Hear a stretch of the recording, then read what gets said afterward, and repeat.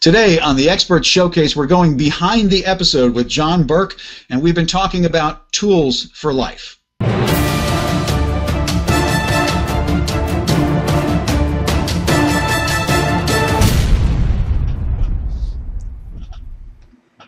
And welcome to Expert Showcase Behind the Episode. And I'm going to start this one off a little different and, and just warn you when you watch the episode, and, and, I know you will, you're going to hear Dr. Mark refer to coaches as tools. Now, I, I know you really didn't mean that coaches are tools, Mark. I know you meant something different. I, I, guess I have to use the word instruments. Instruments of change, not tools for change. But because you did. But some, somebody's used that word, terminology and, and as as a pejorative. You know, I mean it as an instrument of change. I know, but I just found it extremely funny when you said it.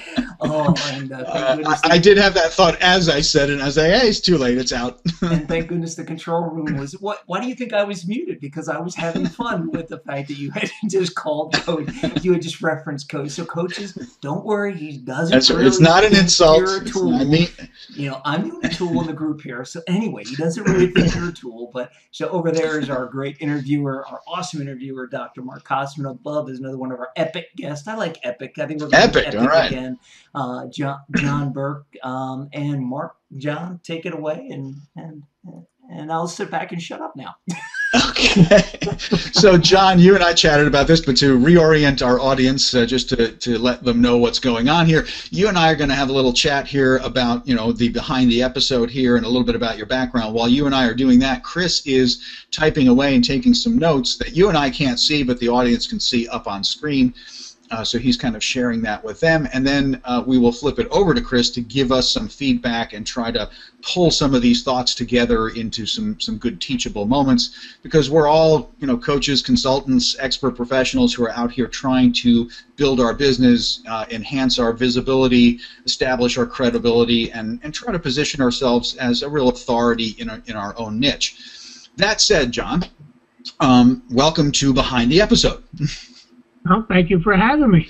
Uh, our pleasure. So, John, um, I, I always like to start this uh, behind the episode off by getting a little bit of background about you know our guest and and uh, how you came to this world of coaching and to to really trying to help people. I I don't know a lot about your background, so I'm looking forward to hearing it. But I, I heard some interesting things in our in our pre-show chat. So tell me a little bit about yourself and how you came to this world. Well, once upon a time. I was waiting for mom and dad. I, That's right, mom and dad. World, I was waiting and, for know, mom and dad. Little of this, together. little of that, and now here I am. and that's how I began. exactly. now, um, uh, it, it, it's been a long journey, and it, um, I've been involved in uh, scouting as a, a Boy Scout leader for years. Mm-hmm. Um, uh, worked in a uh, supermarket industry uh, for for 30 plus years, mm. um, and uh, I am uh, currently uh, retired from that. I'm a retired bricklayer, and um, I'm also a, a, chaplain in the Philadelphia prison system. Interesting. Okay. Yes. That must be difficult, challenging, and fascinating work. Yes, it is. It is all of that. Um, it's, very interesting, and uh, my whole concept has changed mm. uh, about inmates after going in and, and doing a, a, volunteer basis. You know, first of all, and then um, and so I'm uh, kind of like gearing myself towards helping as much as I can in the uh, the system and also outside the system. Excellent. Well, yeah, I would imagine some of these tools for life that we're going to cover in, in the that people will see in the episode that we just recorded together are probably you know extremely valuable just with coping with the the, the whole strange world of, of, of prison, isn't it? Uh, sure. Yeah. Uh, and I, have been having some success uh, with the, the, tools of life uh, in, in in the jails. They um, um, they they go in thinking one way Mm-hmm. And the key is to get them thinking another way coming out. Mm-hmm. And that's where the tools come in. Right. But if they don't change, you know, nothing's going to change. Right. And obviously, it sounds like you've been also then creating a bridge between you know the concepts, the things that you're you're finding working with inmates, and of course, you know, some of our viewers are hopefully sitting back saying, "Well, I'm not an inmate. You know, what, what does John Burke have to share with me?" And uh, you know, th- there are universal truths, right? And and often they're discovered in these intense kind of environments, right? Uh, so yes. I imagine that's part of what you're up to, isn't it? Yes, it's uh, yeah the, the the three tools, and they're just three of many. Mm-hmm you know, but they're for me they're the key factors on uh, on being successful mm-hmm. um, in in life, in relationship, you know, in in work. Uh, you can use it anywhere. Absolutely, and uh, they, they are truly universal tools, universal principles, and and uh, you know if, if you're wondering what the three tools are, hey, we're not going to tell you right now. That's the tease. You have to stay tuned and watch John's episode that's coming up shortly that we just recorded, and he will share with you those three tools for life. Um, see a little little foreshadowing, a little tease. You know, keep them on the line there. You know. Sure, why not? exactly. So you you um, have had a, a, varied career, so a lo- long career, um, you know, and then uh, uh, this is a new career uh, for you in, in, working in the prison system. How long have you actually been doing that now? Uh, as a uh, paid chaplain for two years, and okay. volunteering for uh, about four years. Okay, so yeah, you've been there uh, actually quite a while, so it's not a brand new thing. It's it's something you've got some depth in even there, and so, and then you're you're obviously also have your coaching practice uh, that you've built through the John Maxwell uh, group, right? Yes, yes, and I've been I've been coaching all my life. Yeah. You know, um, it wasn't until I was introduced to the John Maxwell team program that I realized that right. I'm a professional. That's right. You, you've had a lifetime of training. You just didn't have a name for it uh, until you discovered the proper name for it, right? That's right. That's right. That's right. Yeah. Yeah, well, yeah, you mentioned scouting way back. I mean, of course, there's there's a ton of coaching that you're doing if you're uh, involved in scouting, and uh, especially if you're leading groups and things like that. So, uh, uh all along. So, yeah. So let's shift gears a wee bit here, and let's talk because again, our our audience is often looking for some guidance, some strategies, some some stories of what has helped you in just in terms of. Chris and I like to talk about these three main, uh, you know, things. I mean, trying to gain visibility, trying to really establish uh, yourself as a credible source of, of your expertise, and then really ultimately trying to position yourself as an authority in your in your niche. What has been working in terms of building your business and, and the visibility of your business for you? Well, u- utilizing the three tools. number yes. one, practicing what you preach. that's right. That's right. Uh-huh. And number two, just uh, just uh, making yourself available. Mm-hmm. Uh, to you know, see, we're we have to listen to people. You know, when when you know a stranger on the street, you can help out. You can give them information um, if you listen. Mm-hmm. You know, a lot of times we hear people, but we don't listen. Yeah. And, and for me, that's been working for me, listening to people and then going out and speaking to them, giving them, you know, my business card, my web page, and mm-hmm. just uh, uh, word of mouth. Mm-hmm. Word of mouth is the best advertisement. So yeah, absolutely. Word of mouth referrals are always the strongest uh, source of business you can get. But you mentioned public speaking as well. So you you, you speak to, to various groups. Is that true? Yes, yes, uh, uh, corporations and um, charitable organizations. Mm-hmm. Um, so yeah, it could be you know from five to five hundred. You know, it doesn't matter on the size. Right. Right, but it helps you get the word out, helps you kind of engage with people, helps them understand what you're all about, and uh, and then I, I, assume that from that you you uh, have some people who want to follow up with you and, and yes. maybe work one on one and so forth. Oh yeah. yes, yes, yes. Okay. All right. Well, I think that sets the stage pretty well for me to uh, to segue over to Chris here because I know he's been listening and I, I know he's going to you know ask you some some interesting questions about what you're doing with this content that you're creating when you're public speaking and, and when you're doing things uh, on online and on the web. So, uh, Chris, uh, I'm going to turn this over to you. You you know John well, and you know the John Maxwell Group well. So I, I will uh, I will step back and I will, you know, hear what you guys have to say. Sounds good. So first of all, John, thanks again for, for being on. It was great. It was great recording the episode. It's great listening to you talk. Um, I know we've talked a few times before, and uh, it's always great to hear even more of your background. Um, one of the things that I want every there's a couple of things that that you said that I want people who are viewing this video to really get and, and understand. Um, everything that you did, whether it was a Boy Scout leader, a bricklayer, um, I'm going to guess even in the supermarket industry. In fact, before I make this comment, let me ask, what did you do in the supermarket industry? I worked uh, many departments. Um, the, the last department I worked before I retired was seafood, and I was a seafood manager.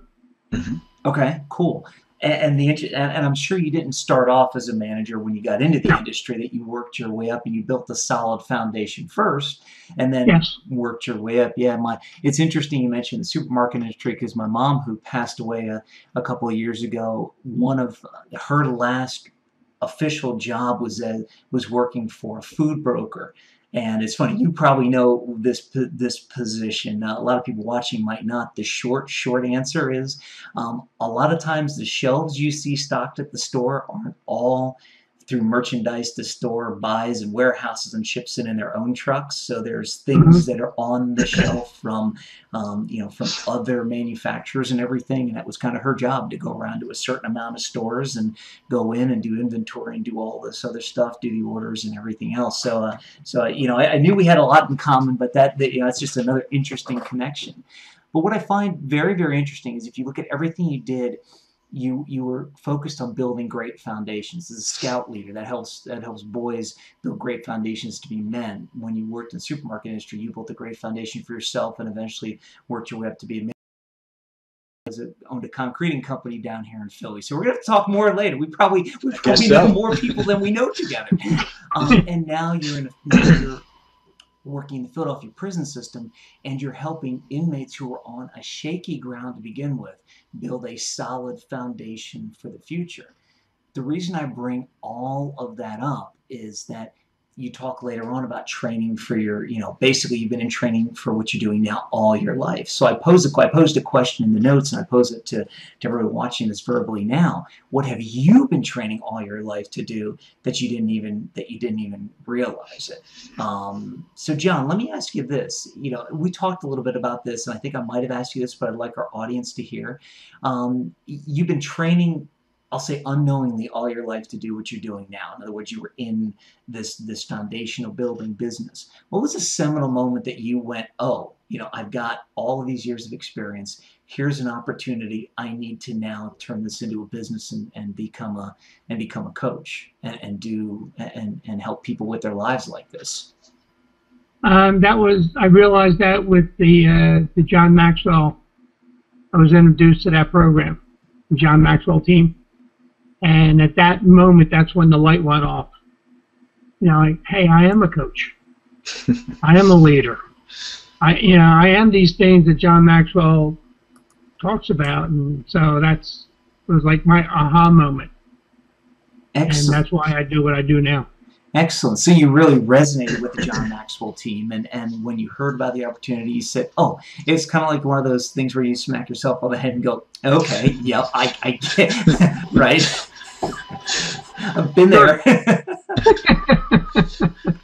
oh, that's that's excellent. The other thing I love what you said is that listening is a great is a great first step to building to building visibility. You know, we talk about visibility, credibility, and authority, and I want to get into kind of a little bit how you've marketed yourself now, and then also ask ask you know, see what questions you have about how you might be able to market yourself in the future. Anything that you're so I'm prepping I'm prepping you this because we didn't ask you this before, and so I'm prepping you for this now. So if there's anything you're comfortable enough asking and sharing with our, our viewers, we'll be more than happy to answer it.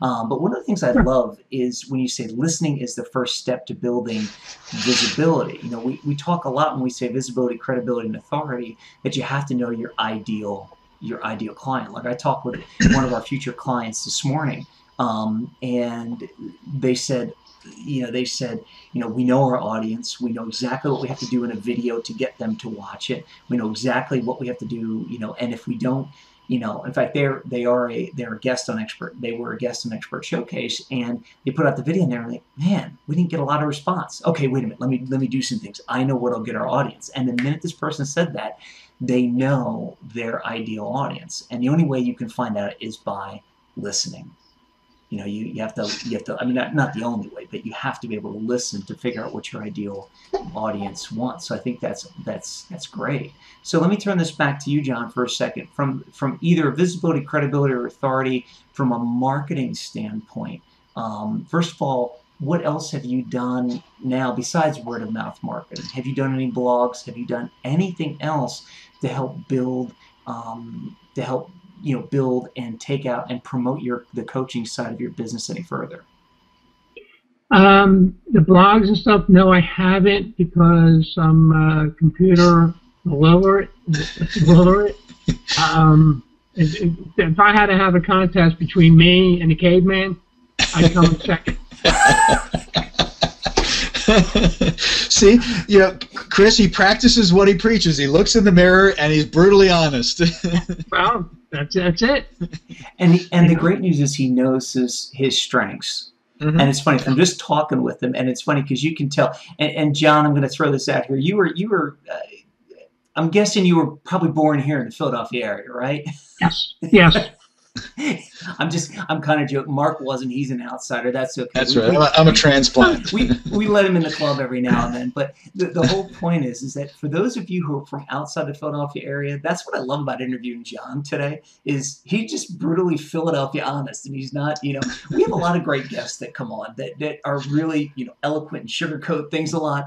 John's a good Philadelphia hardworking guy. He's like, you know, this he is tells it, it like it is. He tells it like it is that's somebody you want in a coach and in a mentor, somebody to help you, you know, get your life further. And that's why, John, you're going to do great things in the, you know, it definitely in the, uh, you know, in, in, the prison system to help, you know, to help to help offenders who are rehabbing, who are rehabbing themselves. Um, so let me ask you this, John, and this I know this is putting you on the spot, and feel free to say, oh, he'll answer it. I mean, he's from Philly. He answers it. We're from Philly. We can talk like this. But the, the whole right. point is, you said the, the technology. So if you had somebody to help take care of the technology side of things and you could just sit and talk or you could sit and say look here are my thoughts you know make quote unquote make me look good um, over time is that something that you know you could see you could see value in doing it and having oh yeah most definitely most definitely um, it, it takes more than me to be successful. You know, and that's one of the other tools. It's, it's, that's right, John. I was going to say, a really smart guy recently told me it's not all about you. that's right. That's right. And, you know, uh, to have success with one, who are you going to share that with? Yourself? You know, so you have to, you know, share. You have to you know, be able to have other people incorporate other people to help you. You know, uh, like um, uh, Henry Ford. You know, they all thought he was nuts. you know, and they were going to. Uh, they took him to court. His family took him to court, and the judge asked him. Um, you know, I, I forget the, the question he was asked him and he says, no, I don't know, but hang on. And he asked his secretary or somebody that he pays to know these answers. You know, so the judge said he's not nuts. you know, so yeah, I can. Uh, if I can find people to, to help me to be more successful, then great. Awesome. Well, Mark, you know what? I, I don't think there's a better way I could kind of leave this portion of the segment than to than to kind of you know than to leave on the note that John just just talked about about having other people part of your team. So I before I before I wrap this up, I'm going to throw it up to you and John for your final comments and final thoughts, and then we'll uh, roll. And then I'll wrap us up and we'll roll the tape. Sure. Well, John, it's been great having you as our expert. Uh, people are about to see the the Tools for Life episode that we just did together, um, and I think they're going to get a ton of uh, of useful, down to earth, you know, helpful information uh, to to orient themselves in the right way. Uh, you've really kind of transformed uh, a, a long and varied career and, and distilled it down to you know a set of skills and discovering that that it uh, it fits a whole new career for you. Uh, you know, so it's been been great having you. Any closing thoughts you have for your fellow coaches and consultants out there before we actually show them your episode? Uh, the only thing I have to say is don't be intimidated by the size of your problem.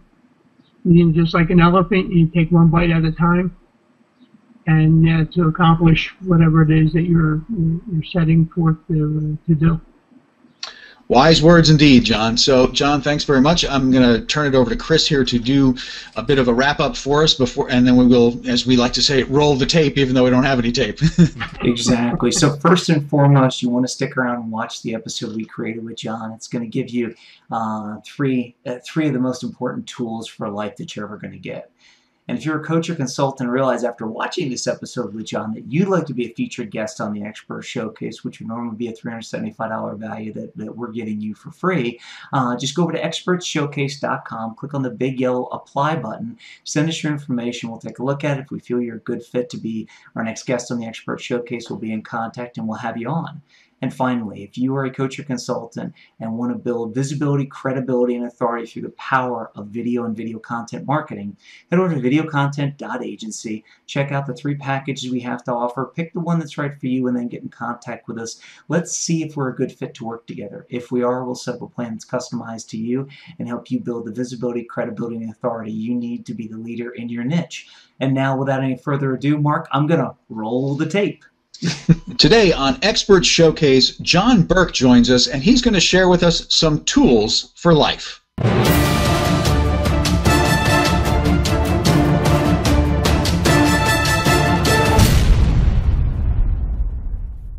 John Burke, welcome to Expert Showcase, and thanks for being our uh, our guest experts uh, expert. You're not two people; you're one person. Expert today. How are you doing? I'm doing great. Thanks for having me. Well, glad to have you. Uh, for the sake of our audience, we like to try to help orient people to what we're going to be talking about. So, give us a little bit of an overview of what our episode today is going to actually be about, John. Well, uh, Tools for Life is um, basically what it is. It's, it's, all the different tools that we uh, accumulate over our lifetime, and we're able to use them and uh, benefit from them. Excellent. Well, we like to do things in threes, John. So when we were prepping for the show, uh, we, we talked about three things we're going to uh, help the, the audience focus on. So we're going to talk about stop lying to yourself. We're then going to touch on it's not about you. And uh, then we're going to talk about the fact that it's all about the client. Uh, the, these are three things that sound pretty near and dear to my heart as well. So I think we're, we're going to have a good chat about these things. So let's take that from the top, John. So when you say stop lying to yourself, um, what does that mean to you, and what does it mean in the work that you do with the clients that you work with? Well, stop lying to yourself is basically what it is because we have a tendency to lie to ourselves. Mm-hmm. We're that good, we're that, you know, great, we're that beautiful, we're that, you know, and a lot of times it's just we're feeding ourselves lies. Mm-hmm. You know, we have to be truthful. And if you're not truthful to yourself, you can't help anybody. Absolutely true. Yeah, I mean, we are storytellers, aren't we, John? We we can spin quite a yarn about uh, who we think we are, and uh, you know, sometimes that just doesn't really jive with the facts, right? That's right. That's right. It's uh, yeah, it's a it's a it's a blessing and and and a, and a shame at the same time that um, going through life we just have that tendency to be better than what we really are, and we can't we can't handle the truth. yeah, I think I saw that movie. so, so you know, people do need to handle the truth, right? I mean, they need yeah. to figure out how to handle the truth, and uh, because listen, uh, you know these things can start to sound cliche right but they're cliche for a reason because they really do make sense. I mean and and the truth can set you free right? I mean whereas the story can trap you it can block you from from achieving what you want to achieve in your life because your own story stands in the way. Sure sure. One of the hardest things i had to do was look myself in the mirror and ask who are you? Really who are you? Mm-hmm. what are you doing? You know and that's when the truth hurts because we have to be truthful about that. Mm-hmm. Yeah, but if you don't build on that foundation of truth, no matter how much it hurts, then what are you building, right? I mean, you're you're building a very shaky uh, foundation for for whatever you end up trying to put on top of it, and it's probably going to fall down at some point. Sure, sure. You're not going to succeed. You know, Yeah. you may succeed, you know, for, for a moment, but if you're looking for long term, you have to be truthful. So you have to stop lying to yourself.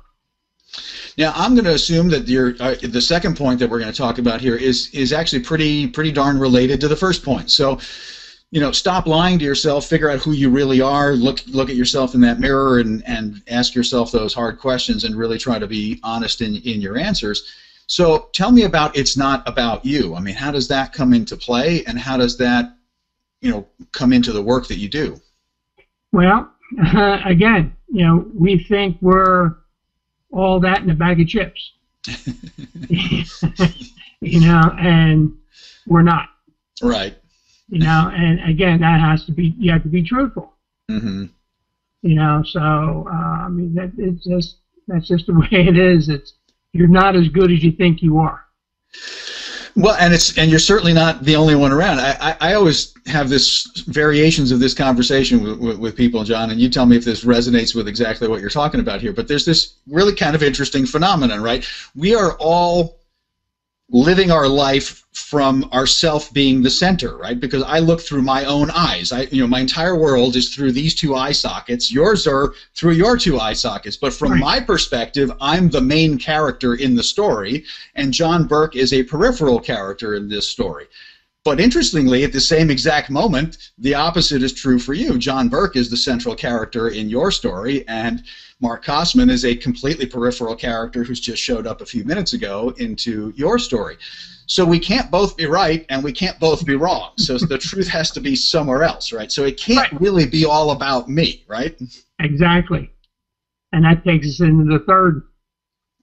Right, which is that it's all you know in client work, whether you're a coach, whether you're a consultant, whether you know whatever kind of expert you are, where you're working in that you know that practitioner client kind of format, it's got to be about the client in that context, right? I mean, it's about you too, to because you are that you know tool that's being used to you know make a change happen, but it's about the client as the focus, right? Sure, it's you know, it has to do with sales. It has to do with you know any part of your life, relationships. You know, it's um, it's not about you because you're not all that. So if you can humble yourself, Yeah, well, that's the thing. I mean, people people think humbling yourself is a is a, a sign of weakness, don't don't they? yes, they do, and they are so wrong. Exactly. I, I'm with you 100%, John. I mean, I, I, I will resonate with you completely on this point. You know, vulnerability is something that gives you massive strength, uh, whereas being a tough guy gives you a fragile exterior that can crumble at any moment. Yes, I've I've been on that end. Me you know, too. First, personal experience. So you know, that's why I'm where I am today. Yeah, and I, and I think we've both probably worked with uh, any number of clients who who kind of are in that boat too, where they're they're they're thinking that you know letting themselves be vulnerable or letting themselves open up is is actually going to make them weak, uh, and they when they let themselves, they discover something pretty interesting, right?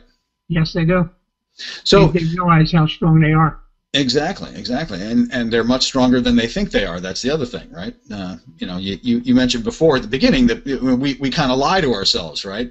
Uh, one of my most interesting lies that I like to catch myself in and help clients catch themselves in is when they're having that moment where they say, I, I can't take it, or I, you know, I can't deal with this anymore. And of course, in the very moment that you're thinking the thought or saying those words, you've already dealt with it, right? I mean, it's already Right. happened. Sure, So by definition, you're stronger than you think you are. that's for sure. So, John, you have uh, an interesting background. I mean, uh, and we're going to talk a little bit uh, more about that i- in a bit. But uh, I want to give people a sense of how they can get in touch with you if they want to actually work with you in in coaching.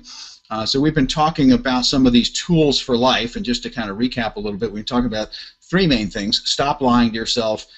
It's not really all about you, so open up. And then, you know, in this client, you know, uh, in this expert role, it's about the client, you know, and make them front and center about that. So, John, you're part of the the John Maxwell Group, uh, you know, coaching, and your website is uh, is is part of that. So it's the johnmaxwellgroup.com slash John Burke. That's easy enough, uh, and we, we're going to put that up on screen so people can jot that down. And uh, what will people discover when they come to your website, John? Well, they'll they'll find out that uh, I have a multitude of uh, talents uh, from coaching, speaking, um, doing masterminds, Mm-hmm. lunch and learns, workshops. Um, yeah, I bring a lot of uh, value, Excellent. value and Uh, wisdom. And I believe you actually have a, a, a bit of a free gift that people can, uh, can take advantage of when they get there. If they scroll down to the bottom of the page, they can just click on that image there, and uh, you've got a little bit of an offer for them that uh, Yes. is, is pretty darn valuable, it looks like. Sure it is. Sure it is. So take advantage of that. Head over to johnmaxwellgroup.com slash John Burke, and you will connect with John Burke's uh, page there. You can connect. You can use the, the contact information there to get in touch with him. Take advantage of the, the free offer that you'll find there down in the in the bottom right of the page. Uh, John, it has been great having you today as our expert guest here on the Expert Showcase. Thanks for your insights and thanks for some of these tools for life. Thank you for having me. And another great Expert Showcase episode. Chris, what should people do right now? Yeah, if you're watching this and you're a coach or consultant, imagine what it would do for you and your business if you were a guest on Experts Showcase. And here's the best part: other than other than possibly increasing your business, an appearance on Expert Showcase is free.